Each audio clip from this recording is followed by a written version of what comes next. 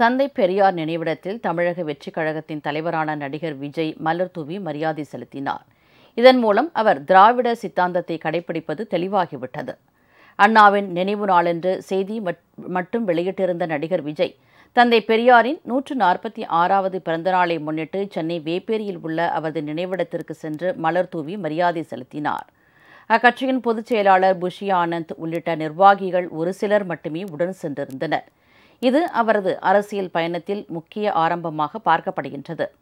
ஏற்கனவே திராவிட கட்சிகள் வலியுறுத்தி வரும் நீட் தேர்வு எதிர்ப்பு உள்ளிட்ட கொள்கைகளை நடிகர் விஜய் பின்பற்றி வருகிறார். இந்நிலையில் நடிகர் விஜய் பெரியார் நினைவிடத்திற்கு சென்றது குறித்து ராஜ் செய்தியாளர்களிடம் கருத்து தெரிவித்த திமுக அமைப்பு செயலாளர் ஆர் எஸ் பாரதி பெரியாரின் பெயரை கூறாமல் யாரும் அரசியல் நடத்த முடியாது என்பது மீண்டும் நிரூபணமாகியுள்ளதாக குறிப்பிட்டார்.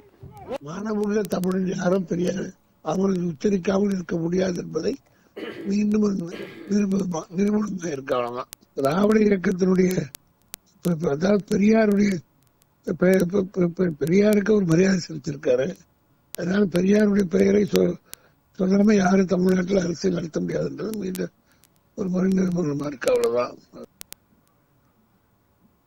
உங்கள் ராஜ் நியூஸ் தொலைக்காட்சியில் திங்கள் முதல் வெள்ளி வரை தினம்தோறும் பிற்பகல் இரண்டு மணிக்கு உங்கள் பகுதியில் உள்ள குறைகளை நேரலையில் தெரிவிக்கும் புகார் பெட்டி நிகழ்ச்சி.